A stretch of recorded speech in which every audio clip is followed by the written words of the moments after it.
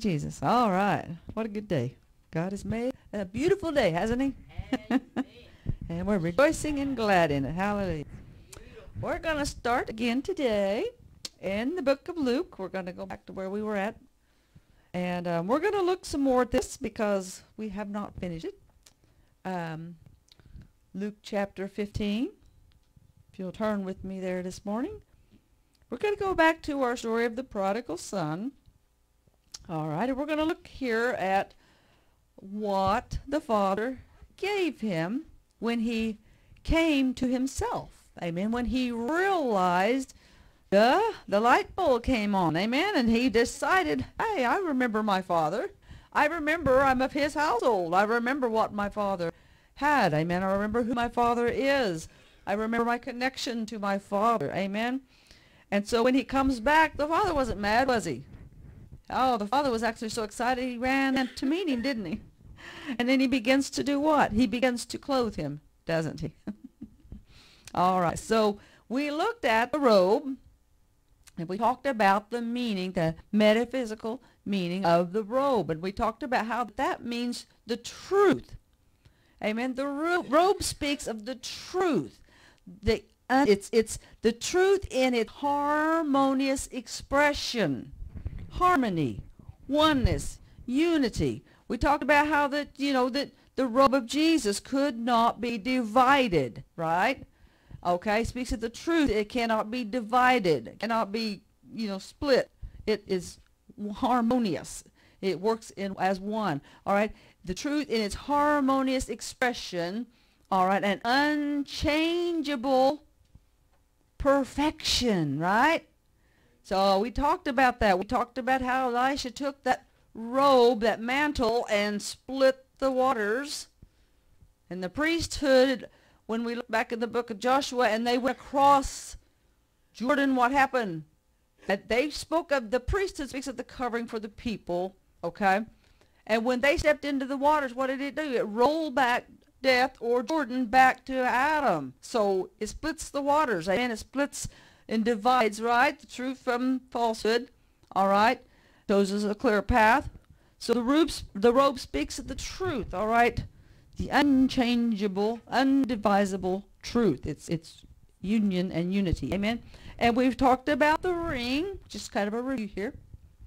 Show you how it all rolls together, fits together, works together. Amen. And so the ring, we talked about how it speaks of devotion, right? And infinite or infinity. We talked about how that it talks about um, limitlessness, all right. We talked about how it talked about, it speaks of eternity, right? Eternal, eternity. All right. He speaks of wholeness. All right. He has made a wet man, a well man every whit whole on the Sabbath day. All right. We talked about how he speaks of perfection and how that we are already, he, what did he do in Hebrews? It says he has already perfected those that he sanctified. Woo, and he's already sanctified us according to Hebrews. All right. So that's what the ring speaks of, right? So we find these steps which um, he shows us here. And what does he do? He begins to put shoes on his feet, right? So now he's going to cover the feet. All right. So um, our shoes in Greek it's 6255 hupodemia or something like that. I was trying to pronounce it this morning. It's kind of strange. But anyway, something bound under the feet or bound around, you know, it's this, or the soul. We talked about those things. But um, it, I want to turn first to Exodus chapter 3, okay? So if you'll turn with me there, and we're going to look about what the shoes are representative of. Exodus chapter 3. God sends Moses to Egypt. Mm -hmm. Now Moses kept the flock of Jethro, his father-in-law, the priest of Midian. And he led the flock to the backside of the desert and came to the mountain of God, even to Horeb. And the angel of the Lord appeared unto him in a flame of fire out of the midst of a bush.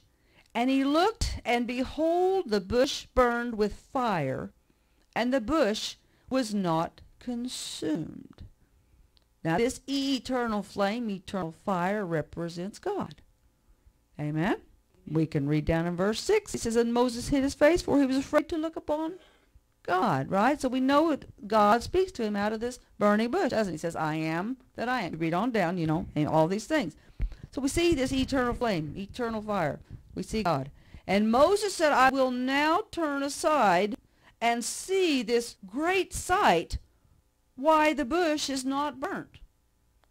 And when the Lord saw that he turned aside to see, God called unto him out of the midst of the bush and said, Moses, Moses. And he said, Here am I. And he said, Draw not nigh hither. Okay. Put off thy shoes from off thy feet. For the place whereon thou standest is holy ground. Moreover, he said, I am the God of thy father, the God of Abraham, the God of Isaac, and the God of Jacob. And there we find in Moses hid his face, for he was afraid to look upon God. So now we have Moses, and we see this eternal flame. We see this God, right? We see God. And he said, okay, Moses, come not near till you take those shoes off because it's holy ground. So we have something going on here. Let's see what we got here. Now, when we look at the metaphysical meaning of the shoe, all right, it represents the words with uh, which understanding or truth is clothed. The words with which understanding or truth is clothed.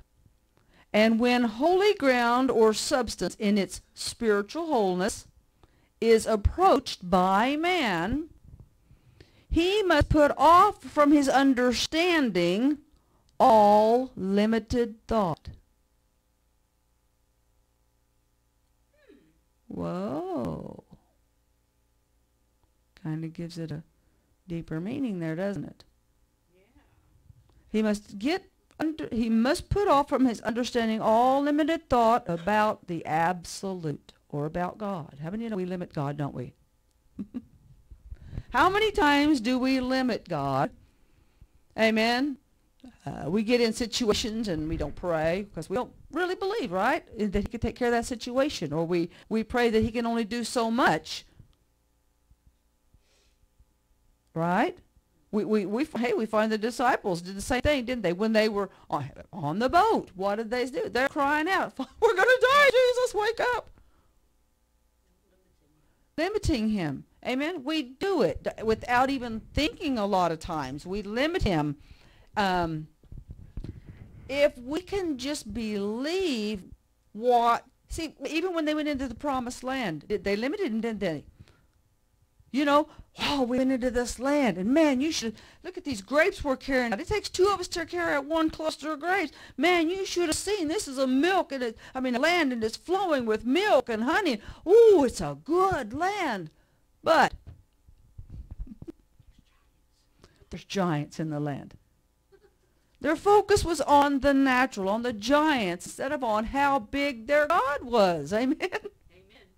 He said, I've already went into the land before you. I have already taken control of that land. I've already defeated every giant. All you got to do is go in. But they did not really believe it, did they? They limited God. We do the same things without thinking. Amen. We don't always believe him to full. Uh, sometimes we believe him, but it's just not to the full extent that he can be trusted and believed. Amen. we only believe he can do this much when he could do anything. Amen. He could do everything. He created all things. Is he not able also to take care of all things, right? Pastor G, looks like you got a comment. it just crossed my mind because I've experienced it. Sometimes it's not it's it's like combined with it's not just not believing in God, it's not believing that we have enough belief to believe in God for it. you go. Have enough belief to believe. That's right. Hey, that sounds, that's good. Profound ex- yeah, wisdom there. but we, we, we, we tend to limit because we tend to do as humanity does, and that's to look at the natural. Amen. We look at what we see, you know, around us. We listen to what we, you know, hear reports that are uh, negative, limited. Amen. We hear, uh, we we we feel, uh, we we smell, you know, all these these sense these senses things gets us in trouble if we if we allow that to override what we know about the Spirit. Amen. About God. Amen. We have to reach beyond what we see and and and, and believe and, and feel and hear. Amen. And and reach out and believe that God's bigger. Amen. We got to believe that He's bigger, and He's better. He's able. He is wants to take care of us. Amen. Yes. It was it Elisha that was uh, and him and his armor bearer that was surrounded by uh, that great Syrian army, and it looked impossible. That they all came for him for Elisha, one man. They said an army. But what did we find out? He said, God, because his armor bearer was crying, no way, you know, we're, we're, we're trouble, you know, there's a problem here. And Elisha cried out to God. He said, just show him, open his eyes and let him see. we find then that his eyes were open. We find this, he sees this great host surrounding this Syrian army. You know, God is bigger. Amen. What does they always say when when man draws a circle? Believe it, God makes a bigger circle. Amen. God is bigger. I don't always go back to that one song. God is bigger than all my problems, bigger than all my fears. Amen. He's bigger than anything, any mountain that I can or cannot see. Praise the Lord. God is bigger. I do too. but we have to not limit him. See, and that's uh, the problems that we have. If we can quit limiting God, if we can simply believe that he is the I am and that he is able and that he wants to provide and take care and to bless. Amen. If we can just believe this, amen, fully to the fullest extent, because I, I think we believe it to a degree. but we've not allowed, we've not, in one place in Isaiah, he says, move the tent stakes, move them out, expand them. Ex- We got to expand our thinking, expand our, our understanding. Amen. We got to expand. Amen. Whew, allow for expansion. Praise God. But he says, take your shoes off from your feet. All right? Remove that limited thinking. All right? Don't limit God because God is able to do abundantly, exceedingly above what I can ask or think. Amen? He's able to do all these things. Amen? So this is what this is what it speaks of, is that uh, the shoes, it speaks of that truth. I mean, the words, I mean, with which understanding is, all right, the truth is clothed. All right? Oh, whew. we got to get rid of limit thinking. I want to turn on over to Exodus chapter 12 because we have God sending Moses to Egypt. We see the we see this uh, bush that's burning. We see Moses and taking his shoes off, and we see God says, "I am." We could read on down there. Uh, we're not going to do that, but you can read it on down.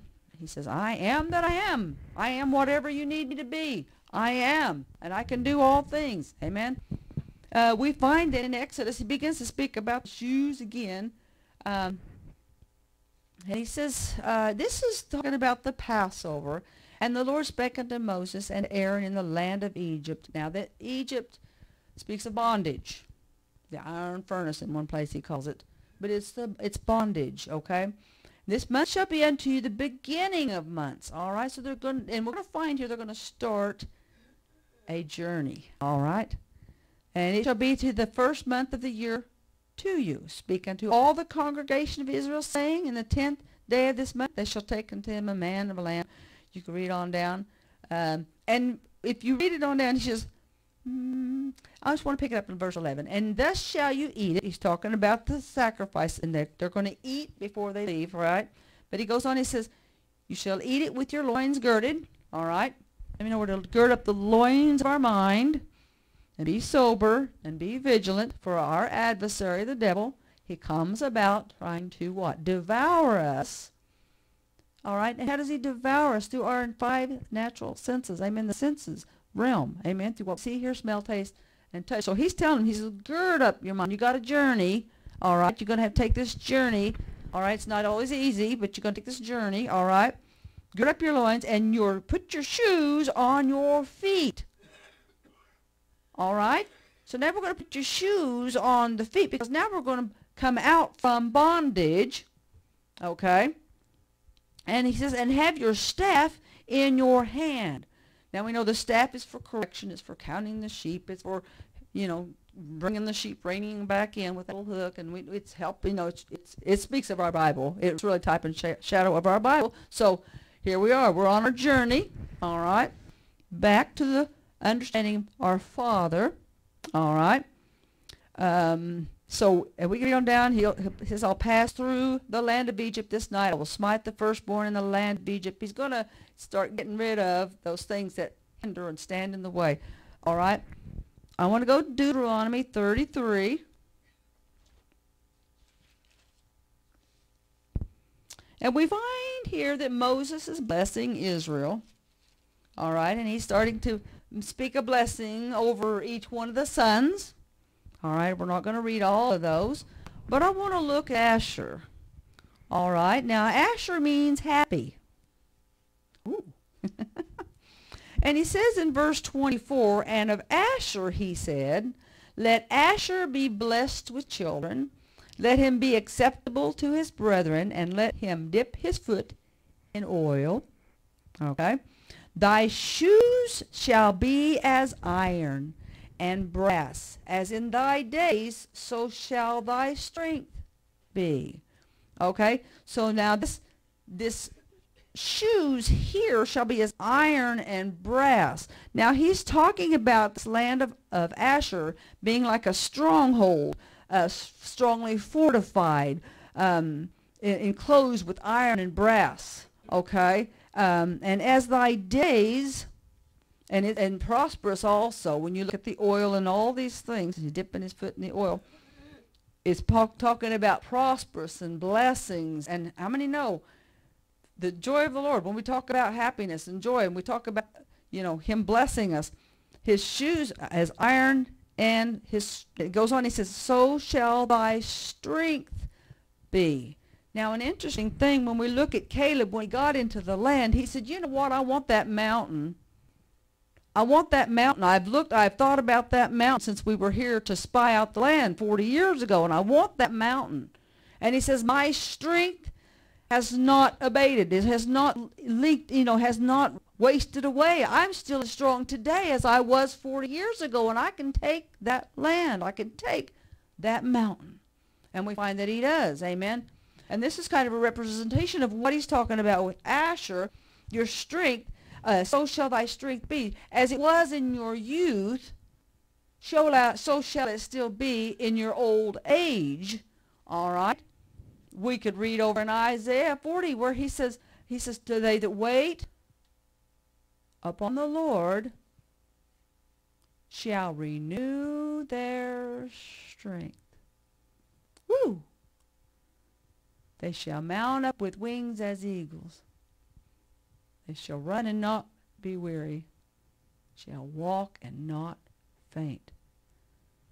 See, if we find the happiness, if we find the joy, if we find, if we understand that it's his life in this fortified city, if we fortify it, right? If we fortify it, all right, we find the joy, we find the peace, we find the blessings, we find, all right, all these things. And so we find these shoes. That's why he's talking about the shoes, all right? Speaking of truth. So just kind of touching a little bit on the Old Testament, some shoes. I'm going to go on now to the New Testament. Um, Luke chapter 13, uh, sorry, Luke chapter 3, verse 16. So where I want to go to now. Luke chapter 3. Now John the Baptist is preaching. He says something pretty interesting here. Let's see. Um, where do we want to start? And as the people were in expectation, let's see, John the Baptist preaches in verse 15, he says, As the people were in expectation, and all men mused in their hearts of John, whether he were the Christ or not, John answered, saying unto them, All I indeed baptize you with water, but one mightier than I cometh, the latchet of whose shoes I am not worthy to unloose. He shall baptize you with the Holy Ghost and with fire, whose fan is in his hand, and he will thoroughly purge his floor, and will gather the wheat into his garner, but the chaff will he burn with fire unquenchable. Now, the latchet of whose shoe I am not worthy, all right, not worthy to unloose. And if you was to read in the Amplified, it would say even as his slave. And to find out, it comes, it, it, it actually, to unloose the latchet of the shoe was one of the things that the slave would do, would unlatch the, you know, unlatch the latchet of the shoe, take it off, wash the feet. Amen? So he says, I am not even worthy of that. It almost reminds me of our prodigal son story, who comes to the understanding of his father and who he is. And he says, you know what, I'm not even worthy to go back. I'm not even worthy, Father. I'm not even worthy to be a slave. But if you would just take me back even as a slave. See what I'm saying? See, he, he is he is looking at the truth, Jesus Christ, the way, the truth, the life. And he says, you know, I'm not even worthy. I'm not even worthy. Amen? Whew. All right. Praise the Lord. Turn with me to Luke chapter 7, 44. All right.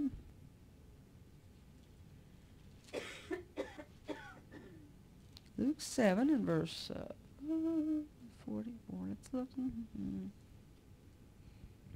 We see, well, see. Jesus forgives a sinful woman. We find out that it's Mary. She's washing his feet. But we look here.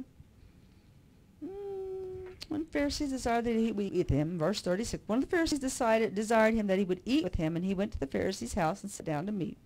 And behold, a woman in the city, which was a sinner, when she knew that Jesus sat at meat in the Pharisee's house, brought an alabaster box of ointment, and stood at his feet behind him, weeping, and began to wash his feet with tears, and did wipe them with the hairs of her head, and kissed his feet, and anointed them with the ointment.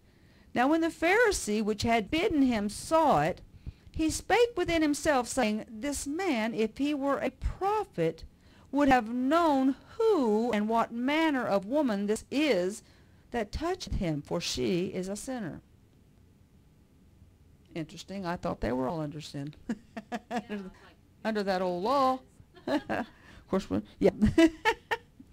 anyway, and Jesus answering said unto him, Simon, I have somewhat to say unto thee. And he saith, Master, say on. There was a certain creditor which had two debtors. The one owed five hundred pence, and the other fifty. And when they had nothing to pay, he frankly forgave them both. Tell me therefore, which of them will he love most? And so Simon answered and said, I suppose he to whom he forgave most. And he said unto him, Thou hast rightly judged. But we go on, he says, And he turned to the woman and said to Simon, Seest thou this woman? I entered into thine house. Thou gavest me no water for my feet. Hmm. Reminds me of the verse of Scripture where he says, Wash me by the water of the Word. The water, amen, by the water. All right, but she hath wa- she she hath washed my feet with tears and wiped them with the hairs of her head. Thou gavest me no kiss, but this woman since the time I came in hath not ceased to kiss my feet. Ooh, my head with oil thou didst not anoint, but this woman hath anointed my feet with ointment. Wherefore I say unto thee, her sins, which are many, are forgiven, for she loved much, but to whom little is forgiven, the same loveth little. And so he says, under thy sins be forgiven. So we know the feet, the feet, all right, what were the feet? Okay, the words, okay, we talked about the shoes, uh, represents the words with which understanding or truth is clothed. So we feet, fight the feet, or speak of truth, right? And understanding. All right? So we find here that she washes his feet. She washes his feet, cleanse his feet. To clean, this walk, the feet also and the shoes also can speak of travel, the journey. We've talked about the journey, amen, and how harsh it can be and dirties your feet and walking in car- carnality, how it can dirty your feet. But we find here she's washed because she's so loved, amen. And we find here how that they didn't give him any waters for feet. They did not take care of that. We, they, they didn't understand the very basic principles of it, actually, because we're going to go to Luke 13, and we're going to look some more. And Jesus is going to show us um, what he did now. Uh, she's got him prepared, all right. She's got him prepared. Now let's look and see in Luke 13.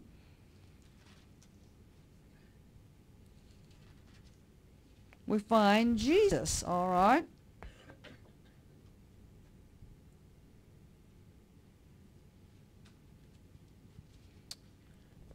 John, if I get in the right book of the Bible. John 13. Luke 13. Yeah. I said Luke, didn't I? But uh, John 13 is what I should have said. I started reading Luke and I thought, that's not right. John. John 13, yes.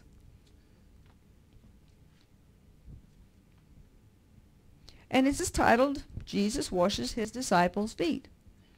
Now before the feast of the Passover, when Jesus knew that his hour was come that he should depart out of this world unto the Father, having loved his own which were in the world, he loved them unto the end.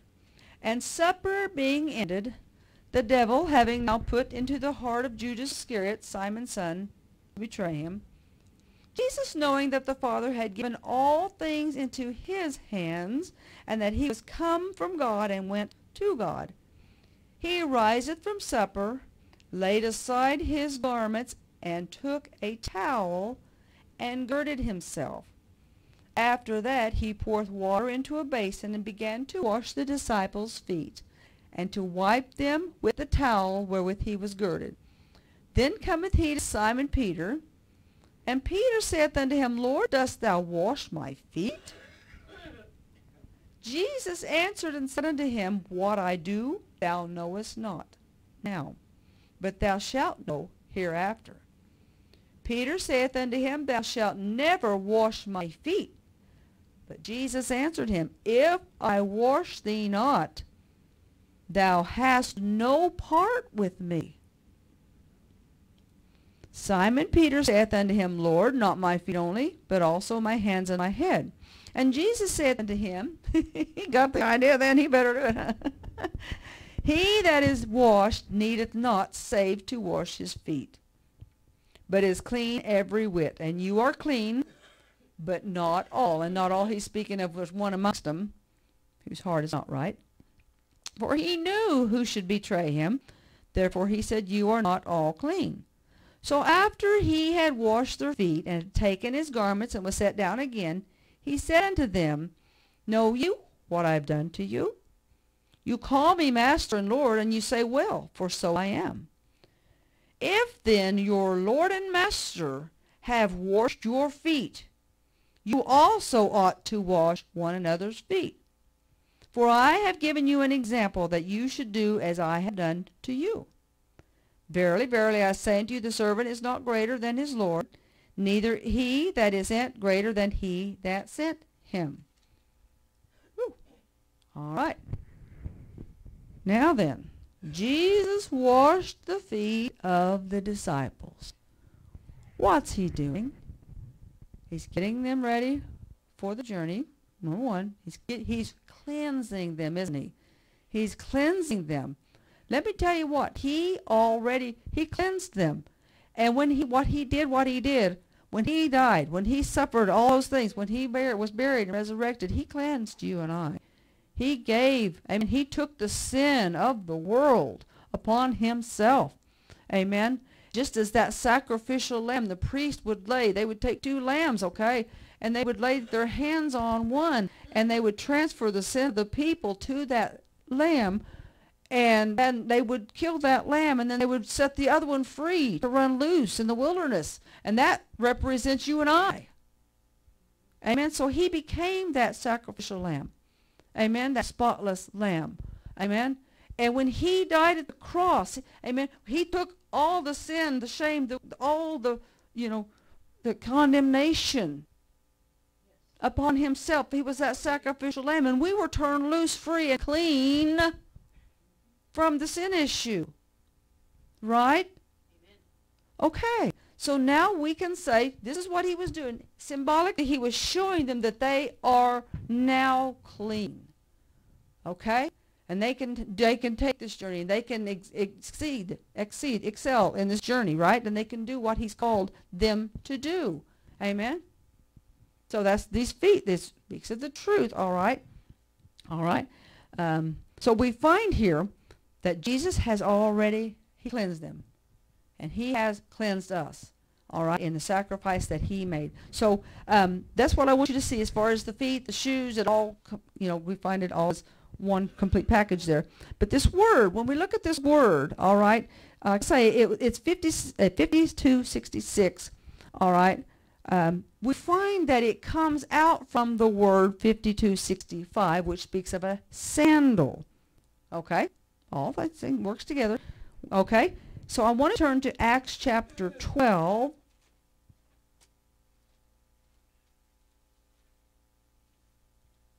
All right. And we find that Peter is in prison. All right. And it says, And when Herod would have brought it forth the same night, Peter was sleeping between two soldiers, bound with two chains. And the keepers before the door kept the prison. So it sounds like he was um, pretty secured, wasn't he? in, in chains and between the guards, right? The soldiers. And behold, the angel of the Lord came upon him, and a light shined in the prison. He smote Peter on the side, raised him up, saying, Arise quickly and his chains fell from off his hands. And the angel said unto him, Gird thyself. Now, where did we hear that? Way back when we read back in the New Old Testament, right? Gird yourself, bind on thy sandals. And so he did. And he saith unto him, Cast thy garment about thee, and follow me. And he went out and followed him, and wist not that it was true, which was done by the angel, but thought he saw a vision. and when they were past the first and the second ward, they came unto the iron gate that leadeth unto the city, which openeth to them of his own accord. And they went out and passed through one street, forthwith the angel departed from him. And when Peter was come to himself, duh, the light bulb came on. Wait a minute.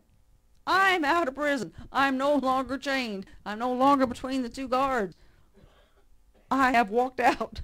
God has delivered. When he was come to himself, he said, Now I know of a surety that the Lord hath sent his angel and hath delivered me out of the hand of Herod and from all the expectation of the people of the Jews. Oh. you can read on down and we find out where he comes to the door and he knocks.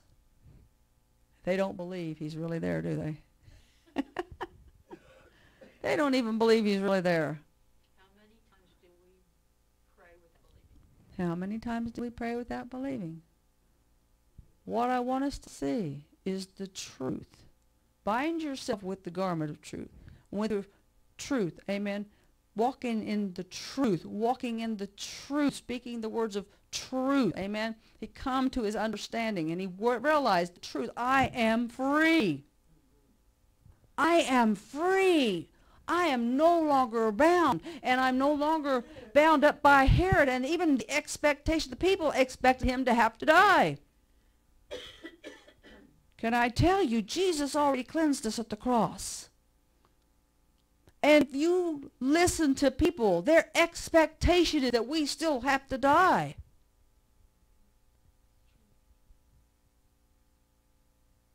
But when we come to our senses, when we realize that he already provided the sacrifice of himself, he already cleansed us. There is therefore, chapter uh, 8 of Romans, there is therefore now no more condemnation, no more separation. He has already, Romans chapter 5, it says, He has already made the atonement or reconciled us back to the divine life, who and what He is. We've already been reconciled back to the Father. We already have been made one with Him. No more separation. That's what that condemnation means when you read in Romans chapter 8. No more separation. No more condemnation. No more division. He's already reconciled us. We're already won. We already have the victory in Christ Jesus. All right? The old law has already been fulfilled. That's the truth of the matter. It's already been fulfilled. Jesus fulfilled the old law that kept us bound up. Herod. he already fulfilled it, completed it. Under that old law is where we find the limitations. Under that old law is where we find death and sickness and heartache and pains and problems and all those things. Amen. The turmoil and all that. That's all under the old law. But Romans 8 also tells me he has, did what? He made a higher law, didn't he? He established a higher law. And he raised us up. When he fulfilled that old law, he then raised us up and seated us in that whole, that higher law, that law of life. Not death, life. The old law was death. Higher law is life in Christ Jesus. He said he has already come to give us life. He came to give us life. He came to give us life and life more abundant. Amen? That's what he came to do. And when he hung on the cross, he said, it is finished. I have completed that that I came to do. It's finished work. I've done it. Now all you have to do is come to your senses. Remember who the Father is. Remember what he's done for us. He put of his own life into the body of Jesus Christ, into the life of Christ. That's who he was. And gave his life. No greater love hath any man but that he lays down his life for the brethren. He showed us his great love in the fact that he laid down his life in Jesus Christ. Amen. In the man Jesus. We find him laying down, proving his great love. Amen. Proving that great love that he is. Amen. He walked it out.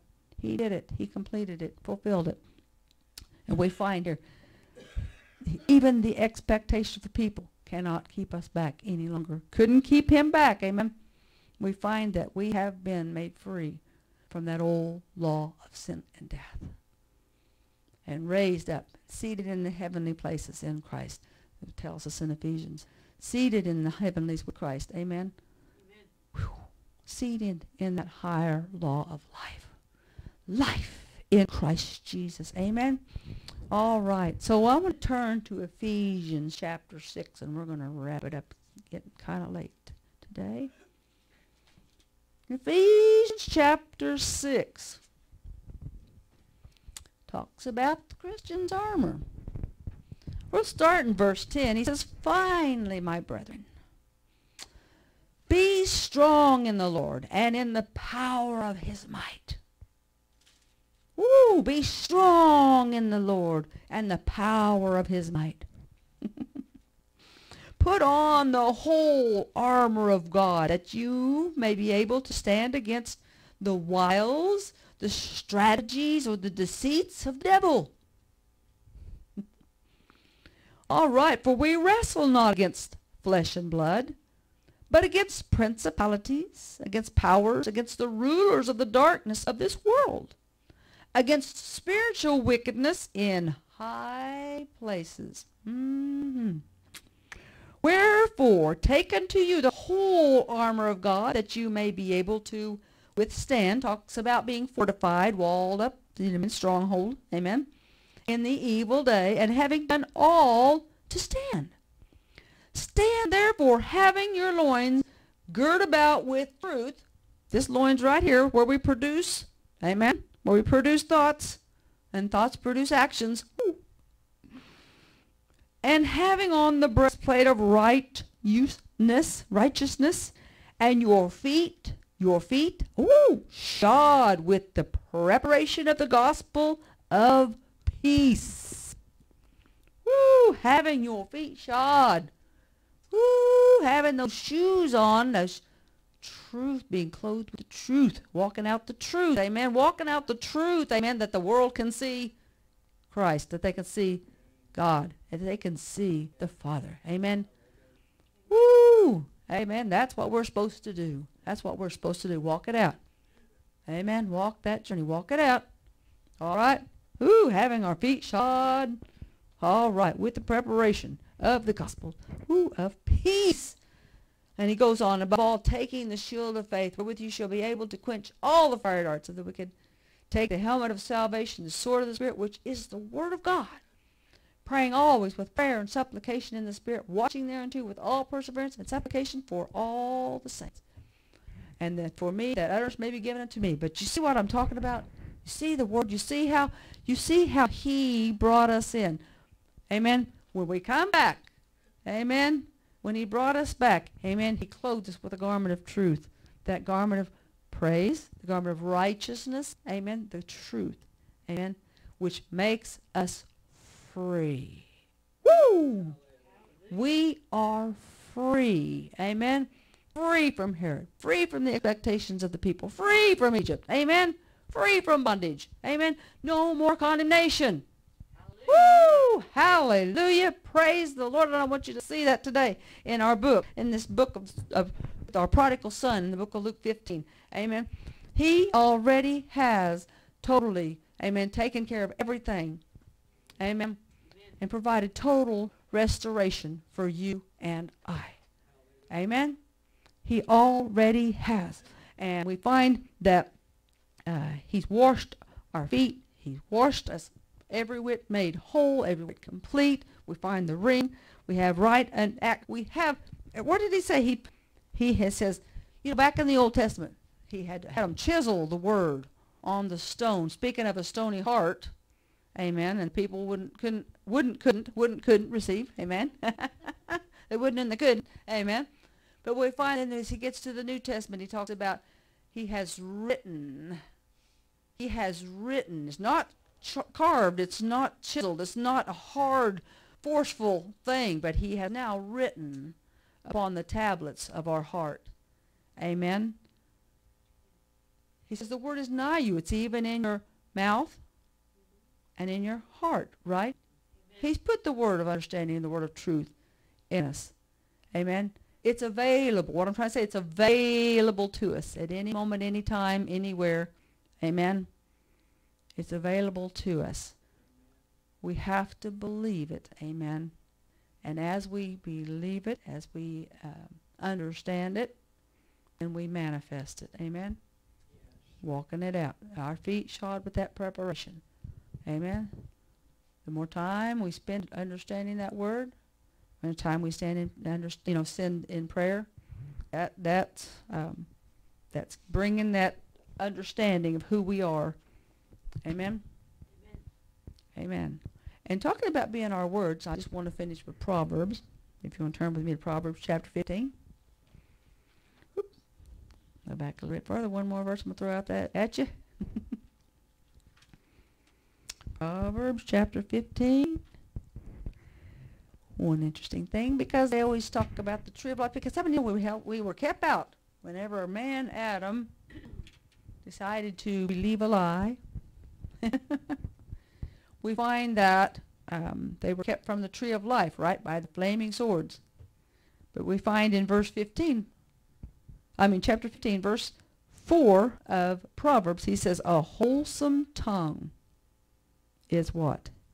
It's a tree of life. Woo! So the words that we speak are so powerful. the words that we speak. Remember the word talks about the word and understanding in the feet, in the shoes, right? So we have to pay attention. We gird up our minds. Don't allow thoughts of lack or need or worry, uh, confusion. Don't let those things fill our minds. When we find those things trying to take hold, fill our thoughts with words of life. Amen? I will not believe a lie because confusion is a lie. Amen? Uh, worry is a lie. Fear is a lie. All those things are a lie. Just tell yourself, I will not believe a lie. I will believe the truth. I have a sound mind. I have the mind of Christ. I and my Father are one. One spirit, one life. The spirit cannot be divided, right? And so, you know, all these things girding up our, our mind. Amen?